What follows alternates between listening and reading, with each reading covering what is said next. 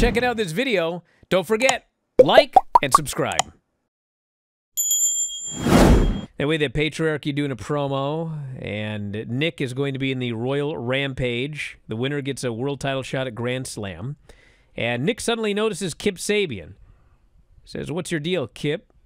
I know you're going to be in the Royal Rampage with me. I'm going to throw your ass out.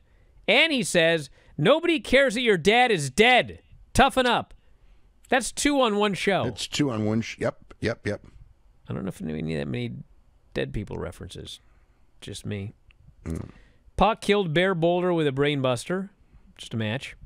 Mm-hmm. And then Swerve is giving his team a pep talk. And Well, so so so the thing with with, with Pac is, is that he's going to get a shot at MJF at some point, but we don't know when. yes, he's got that in the bag. So Swerve's giving the group a pep talk, and Darby tells him to shut up. This is about the elite, not you. And we're never going to see eye to eye. So now Swerve's pissed. Then the acclaim get pissed off. And finally, Mark Briscoe, who nobody could hate, steps up and he does a uh, speech, and everybody's on the same page. So they build the debut of the glamour Mariah May, and what we actually got was just Mariah May versus Caitlin Alexis. And Mariah hit the hip attack in the corner. Storm Zero got the pin. Toni's music hit, but no Toni, and so Mariah's laughing. But then Toni did appear in the ring, and a bunch of referees hit the ring to break it up. Toni screamed, "Are you prepared to die? Because I am."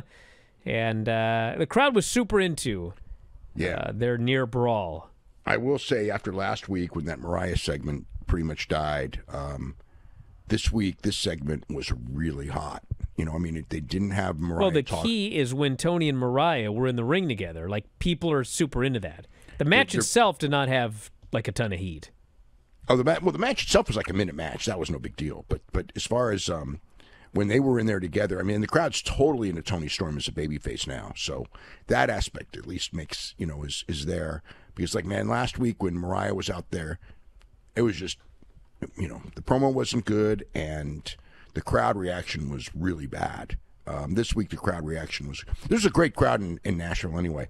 They um you know they were way over five thousand people, which um you know considering the advance what the advance was is is is pretty impressive. Um, I mean I guess either they you know I know I know that you know Jeff's local and everything. I know they market it very well locally.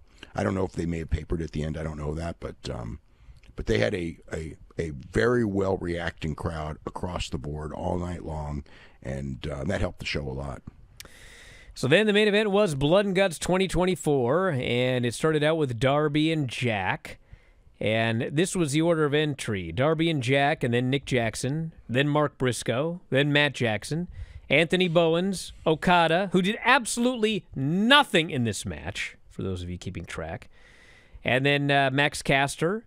And then finally they hit Hangman's music, but Hangman is nowhere to be seen. So Swerve is the last guy out, but of course, when he comes out, he is attacked by Hangman because Hangman does not care about AEW. He does not care about this match. He does not care about the Elite. He only cares about killing Swerve. So he handcuffs him to the cage. He starts just beating the hell out of him. And he's beating him and he's beating him. And Matt finally grabs the house mic and he says, Hangman, what the hell are you doing? And Hangman's ignoring him. He's punching Swerve. And Matt says, if you don't get your ass in this ring, you're fired. And so Hangman gets in the ring. He demands they lock the cage and uh, they ring the bell. So Blood and Guts begins with Swerve handcuffed outside the ring. And so they start doing their uh, their brawl, and Team AEW is running wild. And Jeff Jarrett heads to the ring, and Brandon Cutler tries to stop him. Billy Gunn comes out and punches out Cutler. Jarrett kills him with a guitar shot. Jarrett and Billy then try to unlock Swerve, but they can't open the handcuffs. So thankfully, Nana comes running with bolt cutters, and they finally unlock him. And then they use the bolt cutters to cut into the cage. So Swerve makes his big babyface comeback, and everyone's down, and it's Swerve and Hangman staring off or staring each other down, and it's one on one, and the place goes nuts. And they start brawling, and the place is going crazy, and everybody else recovers and breaks it up, and we start getting the big moves. So the Jacksons had brought briefcases to the ring. One of them has staple guns. So they grab the staple guns. They start stapling the hell out of Swerve. He ends up fighting back. He gets a staple gun. He starts stapling everybody else. They had an awesome spot where Okada is going to go for the Rainmaker, but he flips off Swerve, and so Swerve staples his finger. Place went nuts for that spot. And then Swerve staples Hangman's face. We go to commercial. There's a bunch of tables set up outside. Nick and Bowens end up outside the cage.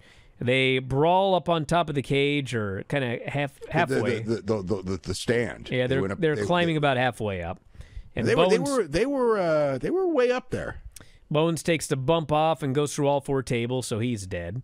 Mark hits Jay Drillers on everybody. Team AEW opens up the handcuffs. They uh, or the other briefcase. They find handcuffs. So they handcuff Jack to the cage. They start killing him with cane shots. Darby goes in the ring and finds a chair, gives it to Mark Briscoe. Mark obliterates Jungle Boy with the unprotected chair shot to the head. Man, man, that chair shot to the head was that I did not like that at all. Well, I can tell you this. It was one of the shaved down chairs. I don't know how shaved down that is. I don't know how soft it is, but it was a gimmick chair. But still, they waffled that dude with that chair. that that was a hard chair shot to the head. And then he doesn't even sell it. So, like, he practically became a babyface here because he will not quit. And then Darby grabs a lighter and he pours lighter fluid all over uh, Gasoline all over him. Yeah, supposedly. Jack and- supposedly, yeah. He's about to light him on fire, and Matt Matt Jackson is handcuffed to the ropes, and he has to watch. And Darby grabs a lighter. He says, "I'm going to light this guy's ass on fire unless I get a TNT title shot at Wembley." So Matt's like, "You want it? You got it. I'll sign it. I'm an EVP." And then Darby says, "Well, you need to quit as well, because otherwise I'm going to light his ass on fire." And so Matt said, "Fine. It's gone too far. We quit." Yeah. which was a pretty anticlimactic finish to an otherwise completely insane match. The match was the match was crazy. I mean, the match was super heated. Um, I could see, you know, I could see people. I could see it being a very polarizing match because there were so many. You know, it was just like a lot of, uh, you know, barbed wire and things like that. Barbed wire boards and chairs and staple guns and ladders and Yeah, it's a lot of a lot of stuff like that. Um, very violent, lots and lots of blood. Um, I mean, it worked for the crowd, so um, I thought the match.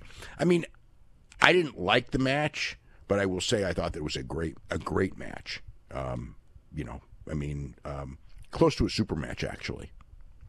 You know the one thing that I will say about it, my one criticism actually is at the end of the day, what were the what were the stakes? I mean, there were no stakes. There's just blood and guts. I mean, nothing like the winning team gets to choose this or the winning team gets to choose that, or even like, you know, somebody submits somebody else to set up a title match.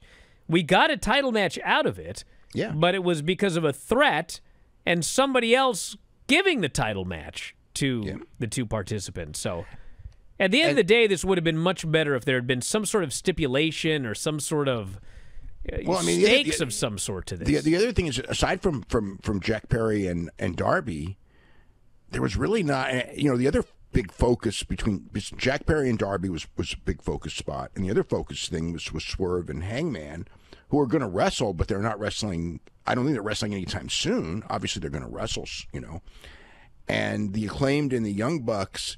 Um, you know, are obviously wrestling soon, and you know there was the spot where Nick, you know, threw Bowens off of the the, the stand and everything.